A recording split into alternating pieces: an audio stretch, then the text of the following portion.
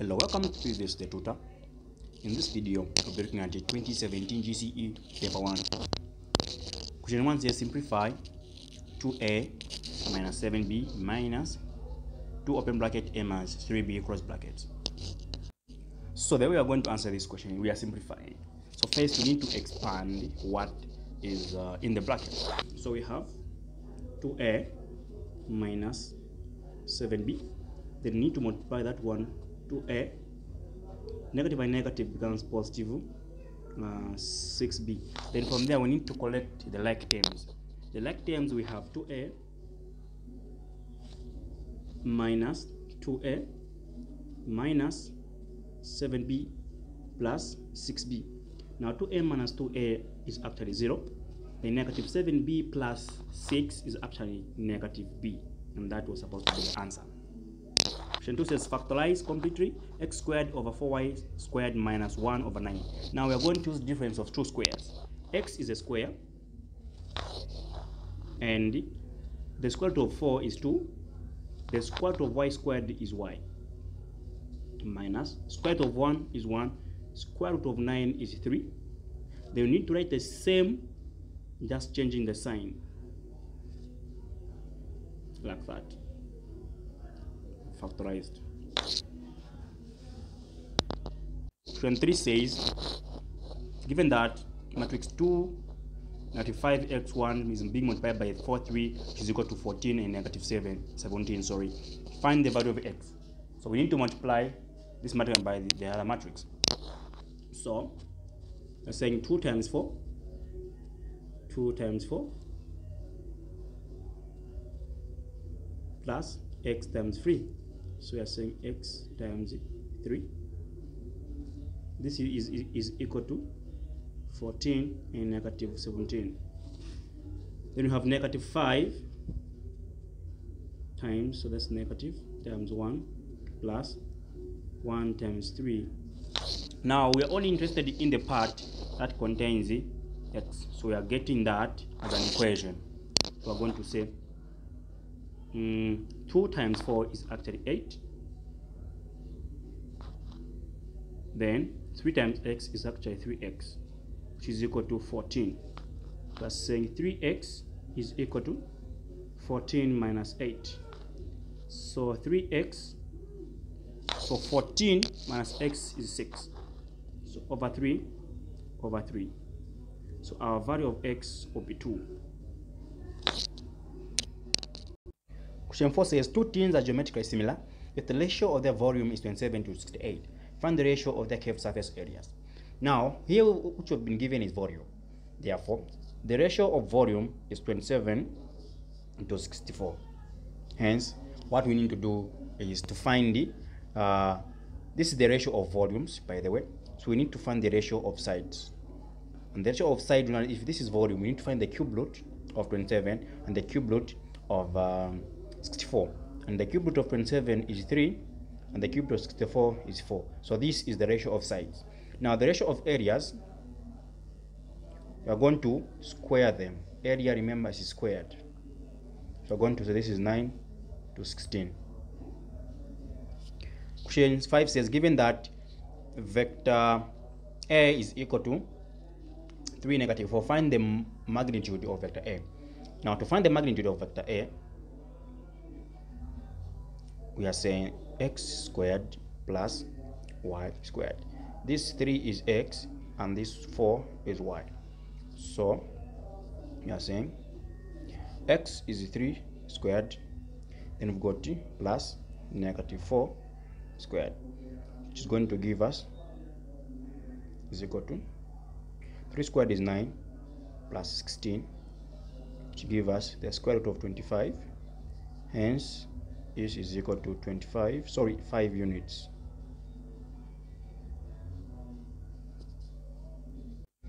Six says on the Venn diagram in the answer space below, shade the region defined by A complement intersect B union C. Now, what it means by being A complement, it means the elements not found in A. Not found in A. The only one element found in B union C, and B union C is this side, this area.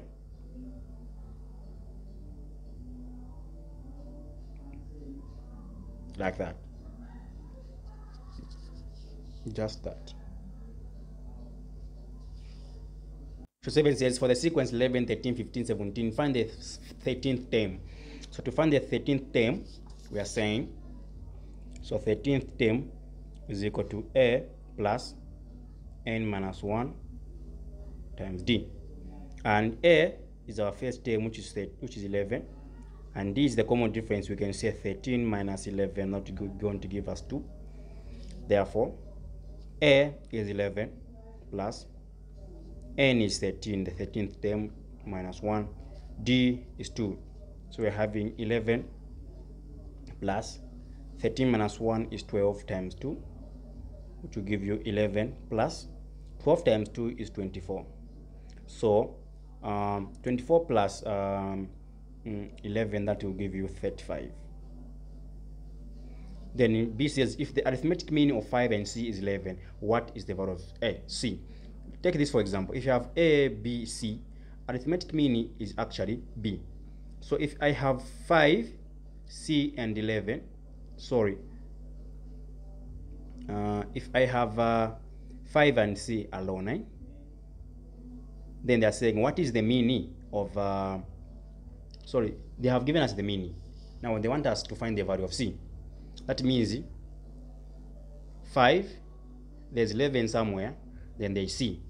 So what to do is you say this 11 is the meaning and to find the meaning we are saying is 5 plus c over 2 that is 2 times 11 that is 22 is equal to 5 plus c. Hence c will be, will be equal to c will be equal to so let me write it here. C will be equal to 22 minus 5 which will give us. 22 minus uh, um, minus 5 that should give, give you 17 question 8 says if a transpose is equal to 1 negative 2 3 negative 4 5 write down matrix a so what, what, what they mean by transpose is they swapped the, uh, the order of the matrix. Rows became columns and columns become rows. So therefore our matrix A is is 1, negative 2, 3, negative 4, and 5. This is 3. Find the derivative of 2x to the power 3 minus 2x squared minus 3x plus 1 with respect to x. To find the derivative, in short they are saying you need to find the, differentiation. So dy dx of this is equal to 2 uh, let, let me write it here where there's enough space so dy dx is equal to so when we're differentiating, you, you decrease the power and multiply by the odd power. So it will be 3 times 2 x to the power 2. We've decreased the power and we multiply it by the odd power minus 2 times 2 x to the power 1. So you can just leave it minus 3 x goes away because x is going to have a power of 0 and anything less to the power 0 is actually 1 so 1 times 3 gives you 3 therefore this gives you 6x squared minus 4x minus 3 that is your derivative. Given that the universal set is equal to 1 up to 8 set a is 1 comma 8 set b is 2 3 4 5 6 7 list set A union B complement. Now, what A union B complement means element not found in A union B. Now, first take, what is A union B? That's the thing which you need to, to determine first. What is A union B? Look at A. A, there's 1 and 8. And B is 2, 3, 4, 5, 6, and 7. Now, we got also 8 from A. Now, they, they're saying complement. Elements not found in here. What are those? We don't have. So a union b complement is actually an empty set. So it's actually an empty set or you can say an empty set like that. Question b says solve the equation 25 to the power x is equal to 5 so these are indices. So you need to have the same bases and to raise to have the same base as this you can raise 25 you can raise 5 to the power 2 like that sorry for that. Which will, will be equal to 5 to the power 1 there remember. And then you can cancel this and this. And you can say 2x is equal to 1 hence x will be equal to 1 over 2 then a, a, a soccer match kicked off at 14 hours at a so we have at a the soccer was at 14 hours. Then at b what will be the kick-off time of the soccer match at b at b we don't know. Now all what we know that are the coordinates. We need to find the difference between a and b in terms of coordinates. So a we have 20 north and we have 30 degrees east. Then b we have 20 degrees north and 15 degrees west. Find the difference in uh, longitude. So these two places are in different hems different hemispheres. So we can see here to give you zero because they're in the same hemisphere there but here they are in different longitudes. So add uh, 30 plus 15 that will give you 45 degrees difference in uh, longitude degrees sorry supposed to be degrees on top. Therefore we have the difference in degrees. So we can say one hour in terms of degrees is actually 15 degrees. So we're trying to find the number of hours it is going to take uh, from 14 hours to go to b.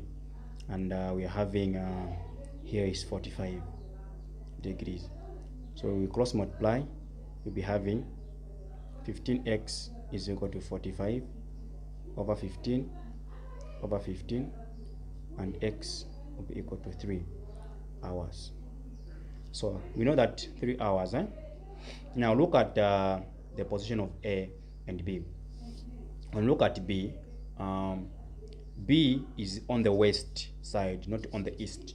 So now like they say as you are going as you are approaching the east part time increases. As you are approaching the west part time decreases. So we are since b is on the west side and as you are going to, to the west time decreases we are saying it will be 14 minus 3 that is going to give us 13 sorry 11 11 hours. So at a it will be 11 hours. Question 2 says put down p and q are on the same long longitude. So we can do just do a, a quick sketch so let's p is there and uh, q is there. And this is 40 degrees north. This one we don't know. X we can call it q then uh, we know that this line is 15 degrees west. Therefore we know that the coordinates for p which have been given already is 40 Newton, uh, sorry Newton, north and uh, 15 degrees west and um, let's call this sorry not q but x. And position q with uh, x which we don't know. So we need to find x which they have asked to find. And they are on the same longitude so we know that it's like that. So you know that since they are in the same on the same longitude you need to take just into consideration this. So this would be we know that they're in different hemispheres so we need to add 40 plus x. Now we know that distance is equal to theta times is 60 degrees. So therefore we have distance as 7200 which will be equal to theta is the difference in longitude which we are going to get this one which we said it is 40 plus x times 60 so we can say this side you divide by 60 this side you divided by 60 so you can cancel that and cancel that. You remain with. So 60 into uh, 60 into 700 7200 you are going to have 120 so we are saying 40 plus x is equal to 120 so therefore we are saying x is equal to 120 minus 40 hence x is equal to 80 therefore the coordinates of q are 80 80 degrees south and uh, 15 degrees west.